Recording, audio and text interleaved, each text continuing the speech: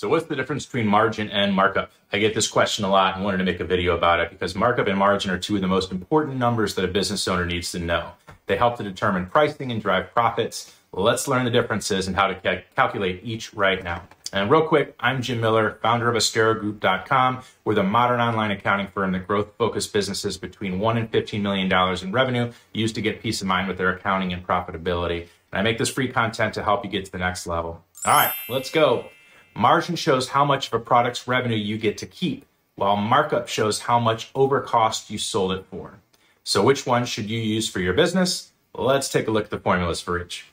So margin is price minus cost divided by price. So if we have a $50 product that costs $10 to make or sell, we divide that by 50 to get 0.08 or an 80% margin.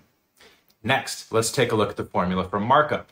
So markup is price minus cost, but this time we divide by the cost. So if we have a $50 product that costs $10 to make or sell, we divide that by the $10 cost to get 4 or a 400% markup.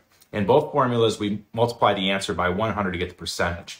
And I know markup is great for verifying that revenue is being generated on each sale, and margin can be helpful for measuring how much profit you're making on each sale, both the macro and micro level. And if you want to review, just save and revisit this video anytime. It's what it's for. And if you watch this far, know that I really appreciate you. It would mean a lot if you could like, share, and follow this in return. It takes just a second and you help me help more people get the right information. So I really appreciate it.